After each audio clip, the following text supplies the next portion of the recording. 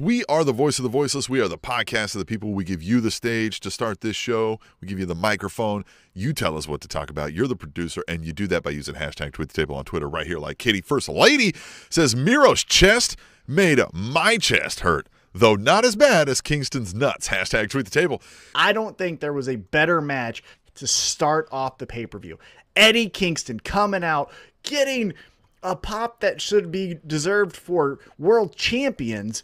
And then Miro walking out just like a stud, and both guys playing their part to a T. I loved everything about this. The visuals that they were giving us, even before they locked up, was great. Where you had Miro standing on the second rope, presenting his championship as if God was at the altar and he was presenting this to him. And then Eddie Kingston staring a hole through his chest, saying, I'm going to beat the fuck out of you. And the ref having to kind of push Eddie back to say, We haven't started yet. And then we get the lockup. And then we get the chops. And then we get the suplexes. And this was physical. It had hey. all the elements that hey. I loved. Supple.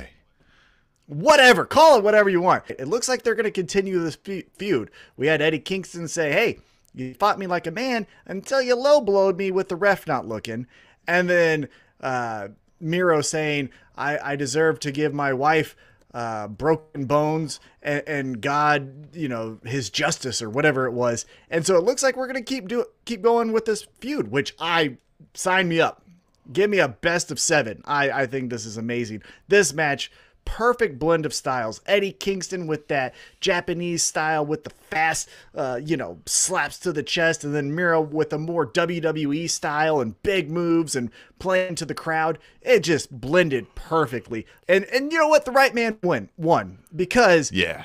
Miro's still undefeated. Eddie Kingston, Eddie Kingston, let's be honest, could lose his next 10 matches in a row. And then you say he's getting a world championship shot, and we're like, yeah, totally cool with me. Eddie Kingston would have had a three count were the ref not there in time. That was the first of like two like written oh, in ref boxes. The refs. Right? Mm-hmm. The refs. Yeah.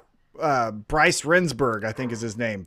Fuck that. I wanted to punch him after this match. Because, yeah, why? Why all of a sudden do you care that uh, turnbuckles are now, you know, all up on the, the shit, right? Yeah. Like, you cost Eddie the match, and you're friends with Eddie. We know that. You've been told us. We told, or you told us this on air, like on TV, that you guys are friends. So what the fuck, Bryce? You asshole. Come on, Bryce.